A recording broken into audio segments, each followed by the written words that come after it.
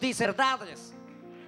Pero también dice que si ignoras los mandamientos de Dios y vives tu propia vida, es que a mí nadie me tiene que decir lo que yo hago. Yo hago lo que se me da la gana. Muchas de las cosas que se nos da la gana hacer son pecado y solo añaden maldición a nuestras vidas.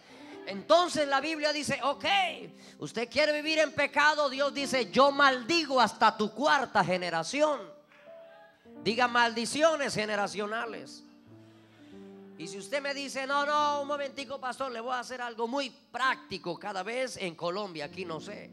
Pero usted va a un chequeo médico y, hasta le da uno impaciencia cuando le empiezan a hacer el chequeo médico antes de llevarlo a, las máquinas.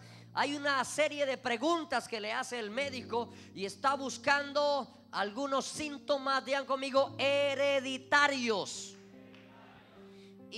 Esa palabra hereditarios manipuló nuestros sentidos.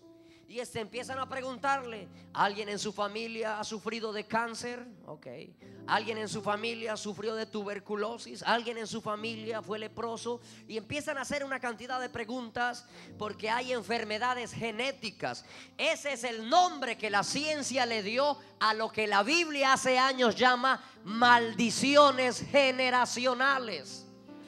Yo he orado por familias que el bisabuelo se murió de cáncer, que el papá se murió de cáncer y ahora el hijo tiene cáncer. No es coincidencia. Busque en sus ancestros la historia de ellos y usted va a encontrar que hay enfermedades que usted carga hoy sin darse cuenta que vienen de, de atrás.